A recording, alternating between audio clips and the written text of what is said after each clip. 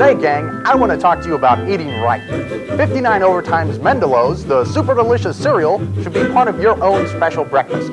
Why, it's the favorite breakfast food of all NASCAR drivers. And free inside every package of Mendelos, there's a nifty toy replica of an actual, almost lifelike stock car, just like the kind they race at the Brickyard. And you don't even have to send in a single penny for it, not even a box top.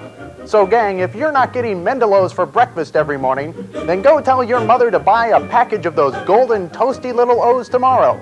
So remember the name Mendelos, the breakfast of Brickyard.